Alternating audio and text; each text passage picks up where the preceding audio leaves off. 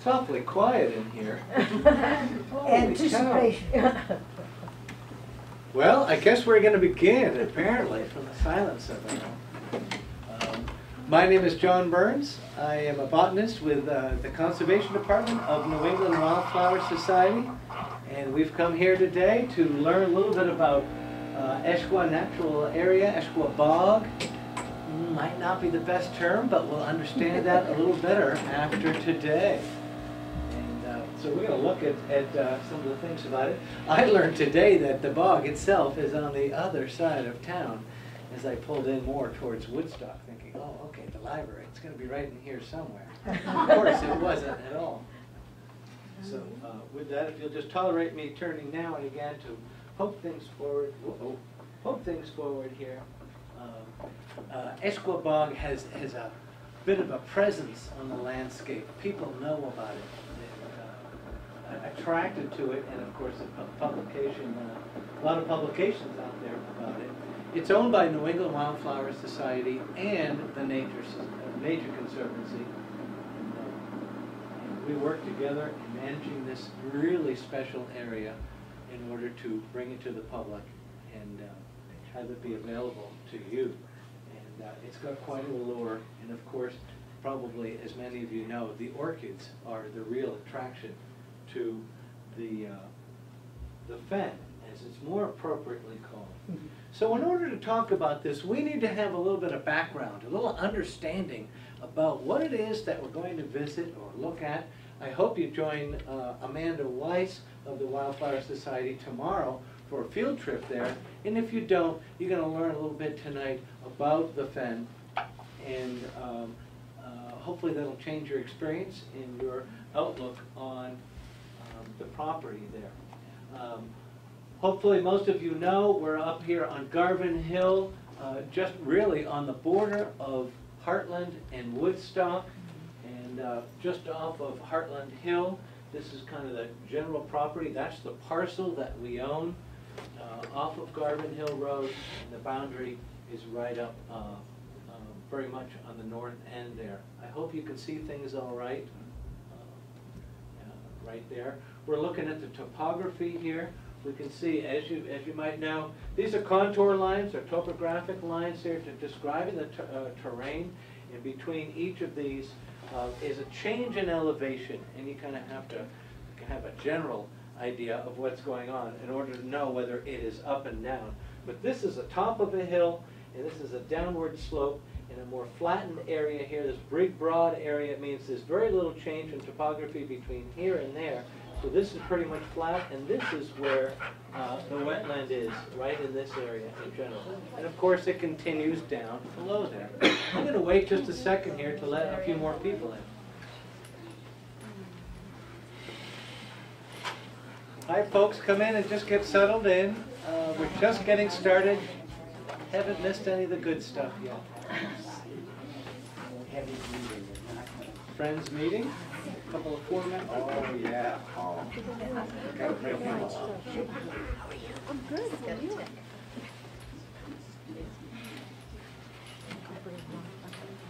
Okay.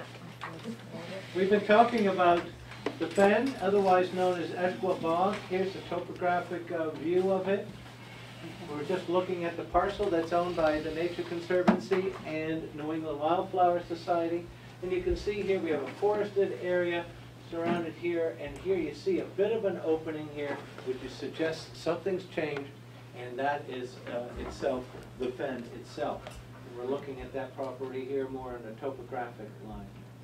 Um, Here we can see a color differential, differentiation between the more solid deciduous forest around it and this being what appears to be a little bit of a shrub swamp in the area, and that is our rich fen. I did a little playing with Google Earth to kind of look at this. It's some cool technology. And so uh, I zoomed this, and we're looking now uh, towards the south. Uh, here's the road, Garvin Hill Road down this way, and we're looking out. And we can see that, and this is important to understand, the context of where we are in the landscape here. Here we're seeing a nice high ridge with the fen. This is the fen in this whole area here, and it's important in very common for this kind of thing. First of all, this kind of wetland is known as a rich fen. And uh, I'll get into details about some of the different fens, but we can see here that starts with a um, uh, uh, um, somewhat steep hill to the west, comes down, we have a flat plateau to about this area and the road, and then it drops off again. And that's important and a little bit diagnostic as far as that hillside goes. As many of you know, we need to set a little bit of a context here. And I think most people are really familiar with the Ice Age, you know? Long time ago, a mile and a half thick, we had ice a mile and a half thick above us in the whole north area here. This was known, uh, and really throughout the temperate regions of the world, both poles, the north and the south, but we think of the north mostly. And uh, the glaciers basically cold enough that we had more precipitation than would melt and, and evaporate, and uh, especially snow and ice, and it built up such that we get a cap on the globe, right? We think of it as the Ice Age, glacial period. It was a great time for camping and uh, being out there with the family. It's known as the Wisconsin Glacial Period. Now, a lot of people hear about the glaciers receding. So this is very large ice masses that covered continents. We're talking continental sheets here. They put enough pressure, had enough mass to them and weight that they pushed down the continental plates of which the world is made, the, the earth anyway, is made. And, um, um, and of course, they're going to slide downhill, which in this case was a little bit north-south, and um, move down to what we know of today as Nantucket, Martha's Vineyard, Long Island, and stopped moving from there. In the process of moving somewhat north to south, they are uh, putting a lot of pressure on the mountain ranges that were previously underneath, perhaps as large as the, what we know as the Himalayas today. And uh, if you can imagine those ice sheets over those mountain ranges, grinding them, and of course, with the, with the frozen ice, they're going to pick up some of these rocks and use those like a very coarse sandpaper, scour the landscape and be moving that material along with it. Scrape down the mountain ranges, move the material with it. And of course, there was no reason for them to move back uphill, so there is no receding of the glaciers as far as them moving south to north. But instead, where are they going to begin to melt? But in the south, where it is warmer first. And so the glaciers did not move south to north, but instead started to melt in the south. Of course, there's lots of ground matter, ground up rocks and soil that they've moved along and picked up and carried. Uh, and as it melts, it just drops where it is. And if they drop in big enough piles, it forms Nantucket, Martha's Vineyard, Elizabeth Islands, all of these smaller islands and good parts of, uh, of Long Island. And uh, so that's a little bit of a context. We know that it got to this range, and of course, throughout from here to, towards the shore, it is also going to drop this material on the landscape that remains. All right? And uh, we need to go a little bit further back, though. That's not enough. We need to go back. Many of you know about plate tectonics. The, uh, the Earth made up of numerous plates that uh, over a molten magma core of the Earth these things are floating around and constantly moving. And we know that the shifts of these plates uh, cause what we know as, as earthquakes. and, um, and so over a geologic time span, Earth was rearranged. The plates were in different places. What we know of the continents were different. And so we have a, a time period where at least the above the water land masses were all together and we have named that period uh, Pangea. And um, over time, these land masses moved. Want to see that again? Yeah. Kind of cool. Huh? These things moved. Well, oh, let me go back. I hope I can get it to stay for just a split second. I can't really. But the neat thing is, is look at how these things just knit right in, right? We see South America just tucked in nicely under uh, Africa, and North America right in here as well. They're all in there. But these things didn't just move once, they moved several times. And um, so we can still see today that this would fit nicely in there, this moves nicely with that. And this movement in plate, in uh, uh, tectonic plates is crucial because there's, of course, material in between.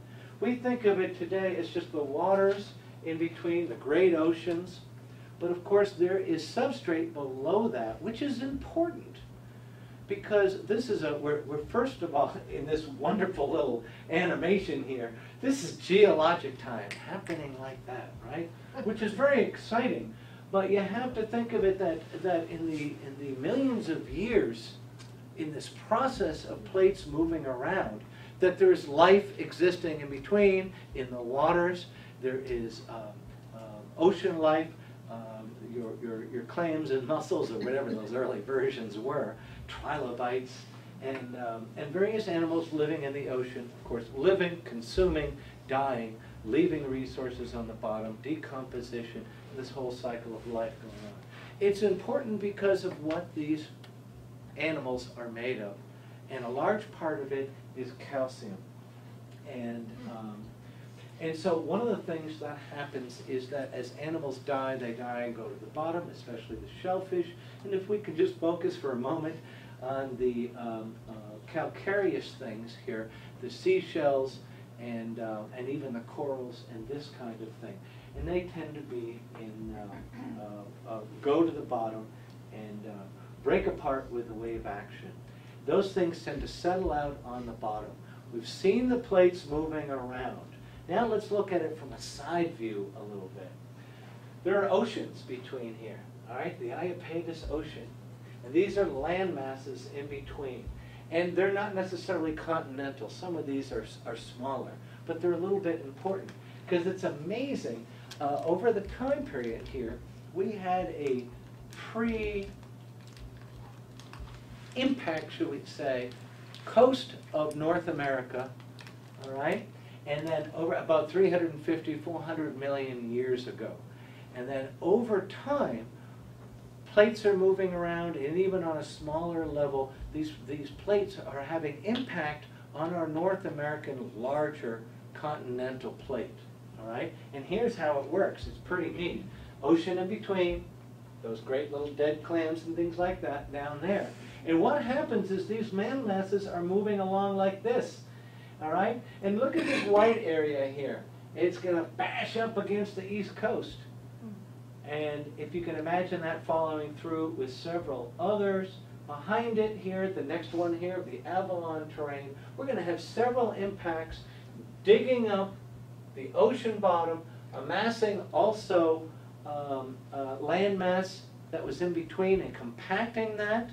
At the same time, there's a lot of stuff going on here uh, with the edge of plates, and so we get the squirting of igneous intrusive or magma from below the earth that also squirts up in between. And these kinds of things are important because they have um, um, they, they are building the substrate of New England. New England has a fascinating um, uh, geologic history. And uh, here we're seeing that same kind of layout, lineup here again. We're seeing a little volcanic activity with nice volcanic drawings. We're seeing buildup of oceans here. And we're seeing that some plates are going underneath while others are building up. And it's really fascinating. I'm going to leave a lot of that for your homework or hit my course the next time I offer it uh, through New England Wildflower Society. But New England's had a fascinating history of, of numerous collisions of large land masses. And what it has done is when these things happen, they, they impact in and sometimes move away. But we're going to have what are known as accretions, adding to the continents. And uh, over time, we have the landmass adding to it. We've got the ocean in between, adding more material. And it's happened three, four, five times in our geologic history. And it's resulted in a fascinating geologic profile of New England. And thus, our Berkshire range, or Taconic range first, is very interesting with uh, a bit of an ocean bottom range.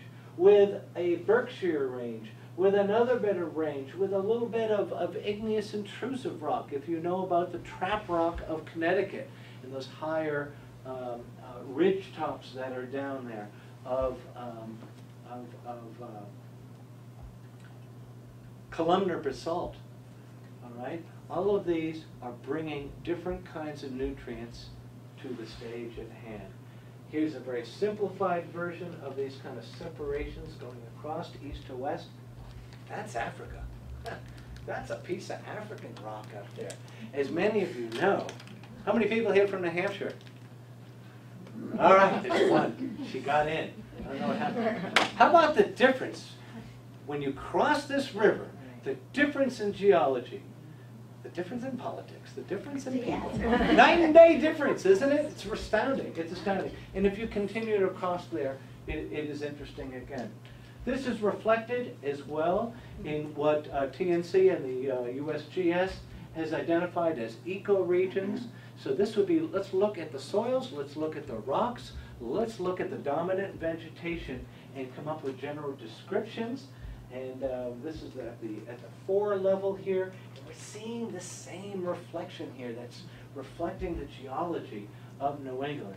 And it's fascinating because it does relate to Eshqua Bog as well. So, the, so that's kind of the act one setting the stage, all right, because the breakdown of that bedrock geology is the food for our plants and really going to set the stage as far as the chemical nature of what is going on at Eshqua Bog. So first of all, if you don't know and haven't been there, Eshqua Bog is open to the public. You can go and visit there anytime.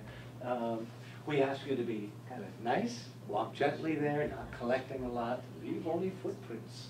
Um, there is a bit of a trail system. This is a boardwalk through the, uh, the, the, center. We, you know, we know that people really want to see a lot of the neat plants that are there. And uh, you know, it's important to go around it as well and see the boundary. So there's a boardwalk across here, a trail system around it. Don't forget the uplands. Cool stuff. A lot of neat stuff up there. And, uh, but of course, uh, I'd, like to think that you wouldn't mountain bike there or bring motorized vehicles. But uh, really a special area. Here you see that wetland situated, again, that big broad uh, flat plain before it drops off again. Hillside leading into that. That's going to be very typical of a rich fen. So, bogs, fens, peatlands, what are these terms? We hear about these all the time, and people kind of think, a bog is a bog is a bog. It's got sphagnum moss, and there's people buried on the bottom. you know, things don't break down.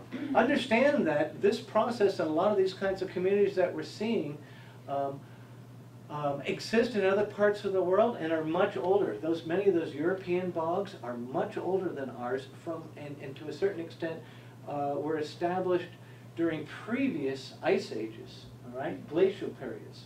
Um, if I can try to just bring you a little bit up to speed here, uh, we have our land formation. That's a little geologic time, a little smaller time, maybe, maybe glacial time. The glaciers came, to a certain extent, wiped our slate clean here. Pun intended, slate clean. Um, wiped us clean. No more, no earthworms.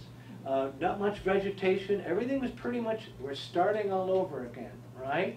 We'll have the early uh, colonizers there. Lichens, moss come in to change the substrate, change the geology, break that down to make more nutrients available for other plants. Um, over time, simple plants grow. Um, as they grow, die, and break down, makes more nutrients available for the larger, higher, more complex plants of shrubs and trees. Uh, this process occurred previously in Europe and in Europe, they, uh, you know, they, you hear about mining peat and peat bogs being, being hundreds of feet deep. That's, they were from a previous ice age and uh, uh, are much older in a longer process, but very, very similar. So um, one of the things is that we've talked about the geologic stage. We've talked just briefly there about the changes that happen after a glacial period, for example. And then depending on the setting, depending on the terrain and the makeup of the bedrock, a different scenario plays out. And um, sometimes it's not as clear as this is this and this is that. All right? By that I mean that it's a bit of a spectrum when we're looking at peat communities. And depending on what the substrate is, what the terrain is like, and the hydrology, things are going to play out a little bit differently. Uh, so that kind of sets the stage. All right? We have some things that are uh, people often call true bogs. They're dominated by perhaps larger shrubs, maybe this tall, other times by black spruce more typically, or even a pitch pine uh, uh, feeling with shrubs under, underneath. The, the, spruce and the pitch pine have. Sedges play a large role in both of those. And of course, uh, when you change altitude significantly, go up two, three, or four thousand feet, we're again going to have um, an environmental pressure of the cold and the short growing season that is involved in the alpine communities. So there are bogs where we think of this kind of community. Uh, it may be an old lake. Sphagnum starts to grow. It floats.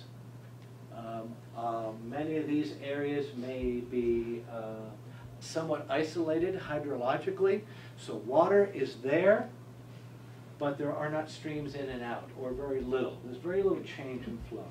And if I could use salt water as an analogy that I think you can relate to here, and tea, if you think about it, rain comes down, hits the ground. The ground initially is made up of brown leaves, dead leaves, that is basically the same as tea. From those leaves, we get tannins and tannic acid, and they dissolve like tea into a dark brown water, which goes then will flow into a lake or this kind of area. If it is limited in its uh, uh, inflow and outflow, then we get tea sitting there, and the water evaporates. If you can imagine salt water, uh, water evaporates and the salt stays. Water evaporates and the tannic acid stays. And the acid stays and it's going to build up and over time become very acidic. We're talking acidic, as, as acidic as vinegar and lemon juice. 3, 3.5 would be a very acidic area. And um, at times, sphagnum, a neat moss that's very absorbent, happens to float. I think it uh, absorbs three times its weight in water. It's pretty, it's pretty remarkable. Uh, can grow in this kind of setting. And it can start to grow and float and grow out there, and it will continue to grow. But because of the highest acid levels, bacteria and fungus don't live in this environment very well. Those are our key decomposers. And so many, thing, many times, plants and animals don't break down in this kind of setting. Uh, of course, that process is the process for which animal and plant remains release nutrients back to the community to be available to other plants and, and animals. So in a true bog situation, we have very little nutrients, very, we have few decomposers, and thus very few de um, uh, nutrients available to the plants and animals. The sphagnum makes it, can make a very large mat, which can build up and build up and be feet thick, but this stuff underneath here that dies doesn't break down, all right, because there are no decomposers. It's so acidic and it goes anaerobic. Uh, it can build up quite a significant mat that can build up over an area. Over time, you can have some plants, some larger plants, trees and shrubs get in there. Uh, the seeds will grow. They'll start to grow. There's a little bit of nutrients. They grow up. They grow very, very, very slowly and they grow up, but they just can't make it. Not enough nutrients for a spruce tree to grow more than this. And it grows, and it dies, and it falls over, and it falls over on top of the moss, which is exposed to water, air, and bacteria, and fungus, and all that, and it can break down. And it breaks down, forming nutrients available to more trees, more plants, more spruce trees, they grow up, now they're 9 feet tall, same process. 12 feet tall, 15 feet tall. So you can get a buildup of organics on top of the sphagnum bog and begin to get shrubs that will maintain a longer lifespan and eventually trees. And that's pretty much how these spruce and pine true kind of bog areas form. Alpine peatlands are a little different, but these fens are really interesting and quite a bit different. And that's what we're going to look at today. I'm going to focus on the rich fen, but I'm going to do a little description of some of these others. Let's look at these. So here's that peat mat, mat going across a more boggy area or a poor fen, buildup of peat. That could be quite deep. I've been on some that uh, are uh, 8, 10, 12, 15 feet deep of sphagnum moss.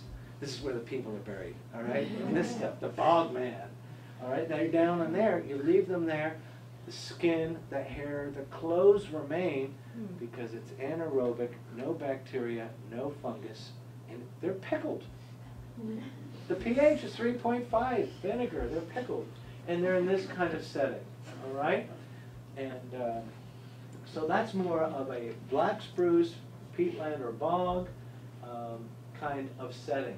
Here's a pitch pine setting, a bit similar, forms kind of similarly. I'm going to generalize it just so we focus on the rich fen. But you can get shrubs as well. Very interesting communities there, you know. In an alpine setting, because it's so cold, that decomposition process doesn't really happen. We get it, everything on kind of a much smaller scale. We do get some sphagnum moss growing, we get lots of sedges, but we get a little bit more of this community because uh, it just takes, they're, they're just fighting such environmental pressures in order to survive at all. Um, here's a great black spruce bog here, uh, which is really neat. It, uh, it enables us to see, uh, I think I included some pictures here. Uh, this is all black spruce in the background here, all right? More around the edge than in the central area. We get some shrubs. This is all sedges, all right? It's a grass-like uh, kind of species. Cotton grass, some grasses, more sedges, um, and, and then smaller plants in this area. And uh, occasional pools in here as well. It's a very interesting area. I think I included this. That, this one in particular is very interesting. It introduces a, a, a concept that is a little bit important in rich fens, which Eshqua is, all right? Very often in most wetlands, we have a central channel that's a stream. Stream comes in, it flows through the middle, typically stays open and flowing in the middle, and we can identify that. In these fens, it's often quite different, especially a rich fen. Instead, what is happening is we're getting kind of a laminar or overall flow across the whole area. It's flowing through the plants and very slowly. That's important. Okay? Uh, this is a neat one here in northern New Hampshire here. Uh, it's a pattern fen, and there are these little things called uh, strings and flarks. These uh, areas where you have raised areas where nutrients have been able to build up and these areas where the nutrients are not. Uh, the interesting thing on these things is that, and I'm looking down one of these things, the uphill to downhill gradient on this is right here. It's going this way, all right? Meanwhile, the string is going this way. A pattern fen, it's very interesting. Uphill, downhill this way, the strings all flow towards more towards the center, and the flarks are the higher areas on the end. Fascinating place. Loads of neat things here. Sedges, grasses, rushes, uh, uh, um, uh, pitcher plants, sundew, wonderful orchids, absolutely fabulous place. All right? So, first thing to understand is that idea of slow moving water across the whole surface. Here's another important thing here is the connection with minerals. This is very important for most fens. Okay. I'm going to start to set, set the stage now, particularly for a rich fen, which is what Eshqua is. Rich fens are dependent on calcareous soils, soils, uh, uh, rocks that contain calcium and or carbonates. And these are important here because, um, as you may know, in soils, the nutrients in soils come from two different places primarily. One is the rocks below, and two is the organic matter above. Right? And um, so we looked a little bit at our New England geologic history, And there's all sorts of little ribbons of calcareous soil from those ancient seabeds, those old carbonates and seashells that are in there. They're fascinating. It's just those ribbons that are going to provide an opportunity for a rich fen to form. Here in this picture, we can see a little bit of those. We can at least see the significant connection. So these are all pockets here. Notice how shallow this is. Shallow, shallow water. And these little things here, these little white patches, it's hard to tell in this photograph, those are minerals very much on the surface. Okay? We kind of have very little decomposition here, but we have a high mineral influence. All right? And if those minerals are calcium and carbonates, then, then we're really lined up to make a cool, rich fen here. All right, so that's one of the things that's going to make this from, compared to the intermediate. Uh, so we have poor fens, which, which uh, do not have the cal, cal, uh, carbonate history and calcium um, um, mineral source from the rocks, um, and thus the, uh, we'll leave that for a second here.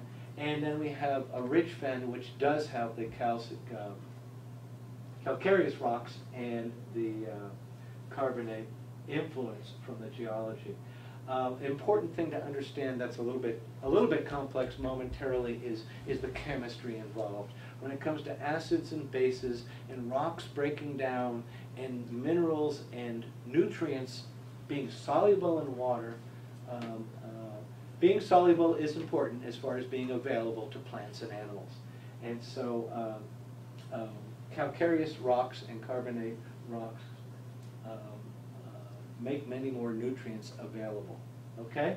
And thus uh, decomposition happens a little more readily here, and so we don't get a sphagnum mat buildup.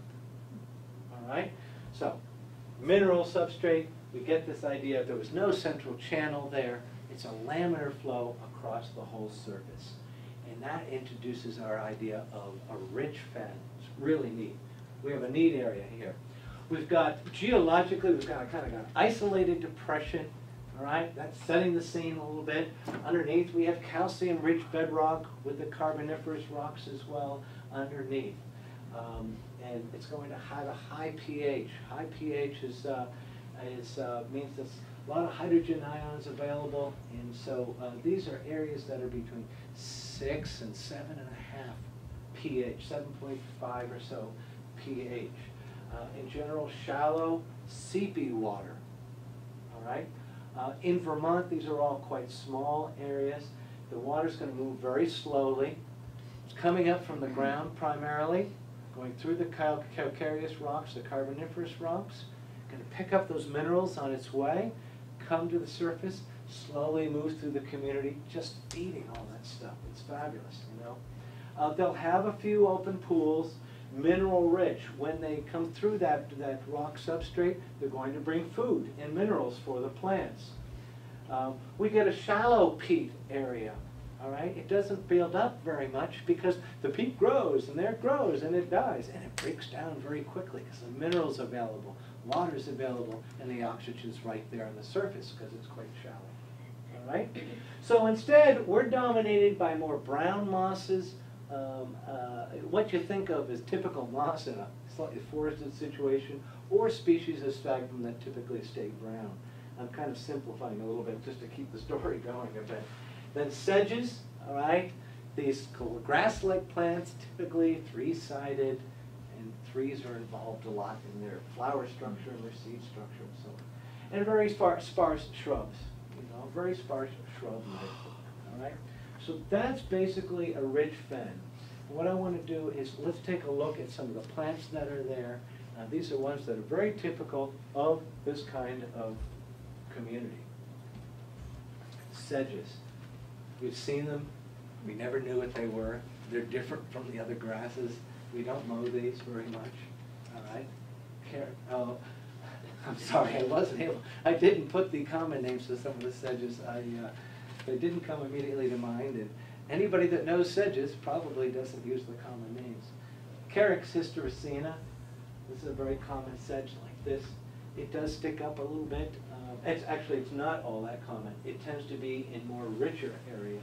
We have some longer ones, Carex crinita, drooping sedge. that uh, goes a little bit longer. Here's this Carex flava. Uh, It, it turns quite gold and yellow, and a little bit of brown in the summertime. You can find that in ditches as well. Carex interior, uh, there are several that are kind of the spiky star shaped thing. Those, those are a little bit small, but um, um, if this is an introduction to sedges, you see that they're quite different from grasses. And uh, if you are a kind of a botanically oriented person, I uh, highly encourage you to, to get involved in these. They are manageable. You can learn them with just a little bit of vocabulary.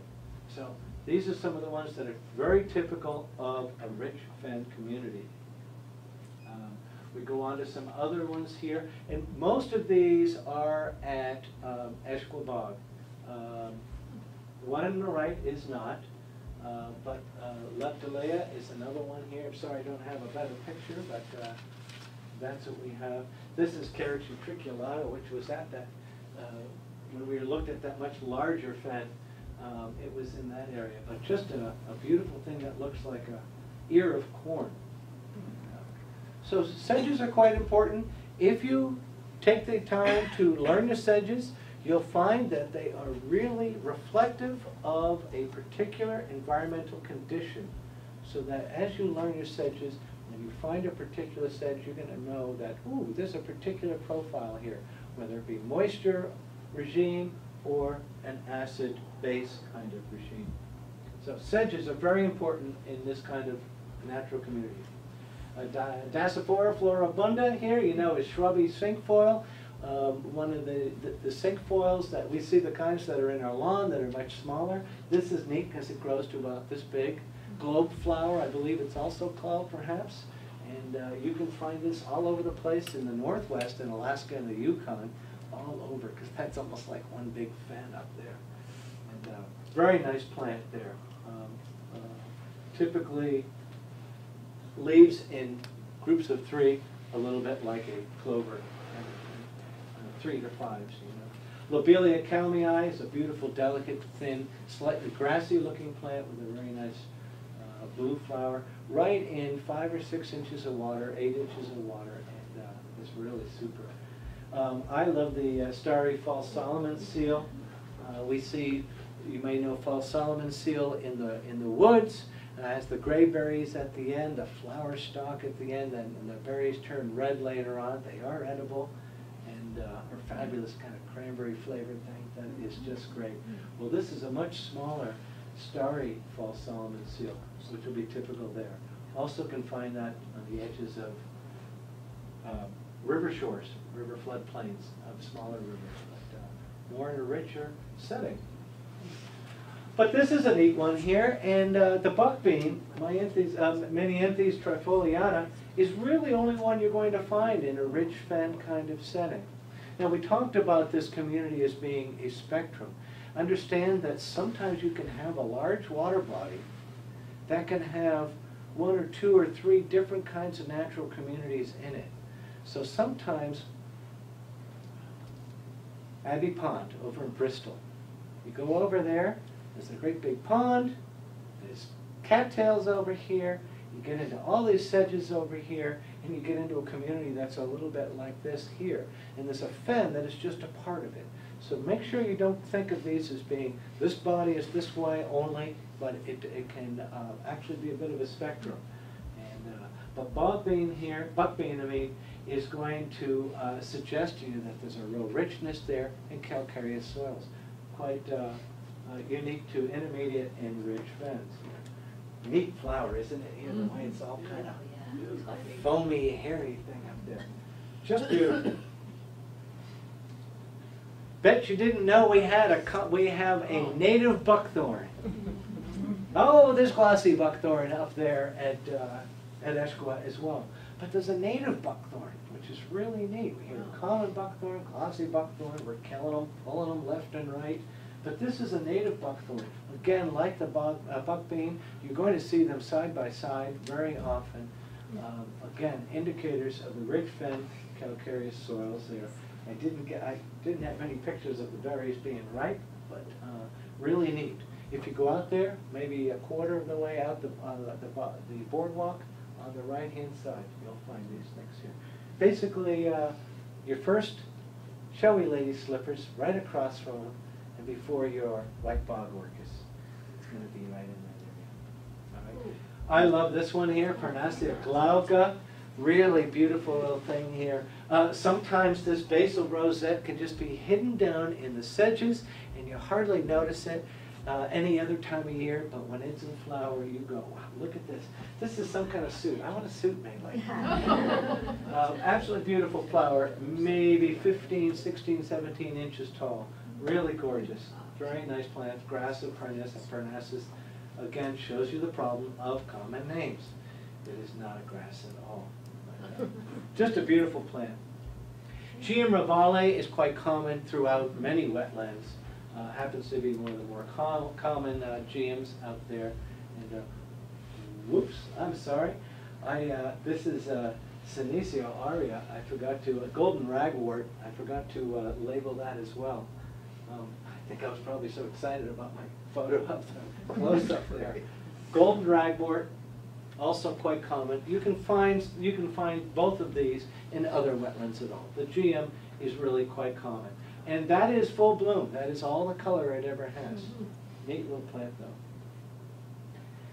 And of course, we get to the orchids, which seems to be what it's all about. Uh, Cypripedium parviflorum, you may know that there are three different varieties of this. Parviflorum variety pubescens, variety parviflorum, and variety makasin. And um, uh, in Vermont, I don't believe we have all three. We mostly have pubescens and, uh, and perhaps some makasin. The others are much smaller, a little thing here. So, this beautiful flower here, notice these uh, uh, uh, sepals out here are quite dark, and they're all twisted, which is really gorgeous there. This is a pretty good sized flower, uh, so an inch and a half or, or a little bit more maybe. The other two varieties are much smaller, maybe only an inch long, if that. But it's gorgeous to find here, and uh, really just a neat plant. Uh, grows typically singularly as far as flowers go, or singularly on, on each stalk, very much like our Macaulay, the pink lady slipper in woodland area. Platanthera dilatata, which is really neat. Um, you never know when the flowers are going to be in bloom. This should be pink right now, this year we're a little bit late, so it'll be in about 10 days. And uh, uh, but Greenberg's got a beautiful. Look at the size of that. Isn't that gorgeous, huh? Are all these at Eshqua Bog? These are at Eshqua Bog. Yeah. There are some out, of- Some- there, some out. there are some out. we- There are. Yeah. It'll start. A few, So a few. they'll start slowly, a little bit like that, and uh, just beautiful things there. And You can see the spiders are in there hunting, and then. Uh, but in uh, July 4th weekend, probably they'll be just loaded like this, and uh, absolutely beautiful. Pure white. Uh, it, it's it's uh, kind of defines white. That color. It's really very nice, you know. Platanthera huronensis, this is the Lake Huron bog green orchid. Uh, this is interesting because you, you don't see a lot of green flowers. Um, you know, I probably should have added it here, but um, there's another green flower out there that is fabulous, that is so common, you've seen it a million times, but it's really worth looking out there. So first of all, look at this nice delicate orchid here with this little lip, and everything is green. And, and you wonder from an adaptation strategy as far as attracting bugs and so on, what, what, uh, what's the plan for this flower? Um, But also take advantage of Eshqua Bog for the, um, the false hellebore, Veratrum viride. Last year was absolutely gorgeous, and I had such perfect pictures. So you know this a little bit like skunk cabbage, but it's not. It grows tall, and uh, um, flowers come out. There's numerous big button flowers, and they're pure green. Green is a leaf, and again, you wonder about that strategy. And last year was a fabulous year for them, and uh, really quite beautiful. These white highlights are not here. It's only here because of the projector. They're, they're not really. But uh, look at the false hellebore up there. It's right on the edge of the boardwalk, not even halfway down, and it's fabulous. But this uh, this little orchid is uh, is there as well, and uh, it's just beautiful. Again, This area is really, so we've already seen a few orchids and you can see it's quite special. And you can see that, you can imagine that these are really quite delicate. So you really don't want to get off of the boardwalk, you know? Um, There are years when the orchids can be a little dormant, uh, dormant and not be up. And so you may not know it, but you're, you're going to see what you think is six or eight orchids. And then, uh, two years ago, there were a hundred right there. So they're there underneath, but they're dormant. But if you put your feet on them, and they'll be really dormant, right? And so you have to be careful in approaching orchids that way. So, again, stay on the, uh, stay on the boardwalk, get a tripod, get some nice shots of these kinds of things. And of course, then there's the Cypripedium reginae. Let me tell you, I don't have one slide of these. I have a few of them. Going through the, this is what I call the two-story orchid. All right, this thing grows up. It's got multiple heads. It's got it's got leaves sticking out all over. It's absolutely gorgeous. There are numerous ones. Very large flower here, probably about that big, right? Absolutely gorgeous. Go on Fourth of July weekend. They'll be peaking this year. It'll be fabulous. No, they're peaking right now. Oh, are they out that many? Oh, yeah, Oh, yeah, yes. yeah, yeah. Are loads right now? Yes. Yeah, I would never have thought, I haven't been up there, Yeah. obviously. yeah, yeah. Um, We were Everywhere there else I've been seeing, they are absolutely gorgeous, so really good, so tomorrow will be a nice visit. Oh, Tomorrow it'll be be, gorgeous. it'll be gorgeous. There I is hope you join Amanda for the walk tomorrow. There is one green bog working out too. Oh, good.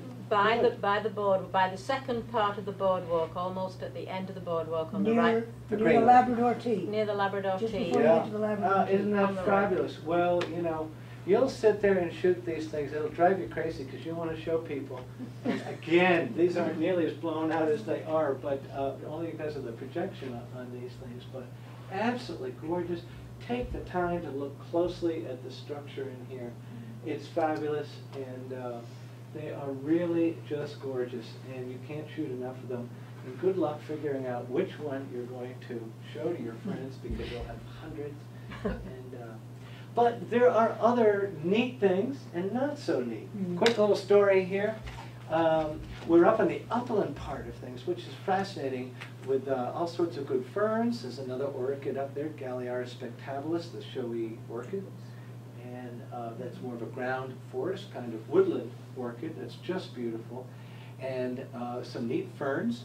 Botrychium dissectum is dissected or cut leaf grape fern, I believe it's called, and uh, quite interesting up there. It does have two different forms, one which is, uh, oh, kind of a big triangular leaf, and it's cut a bit.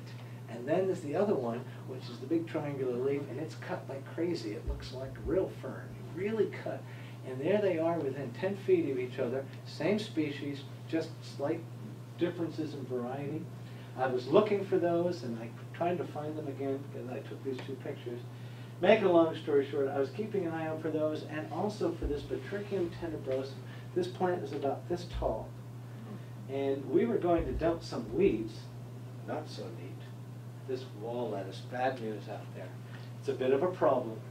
And uh, we're pulling it, trying to manage for these. We're also getting rid of buckthorn here and there, trying to manage these things. And, um, and, uh, and in part of that process, I was returning the truck and not a foot off the road was this little guy, and this is perfect.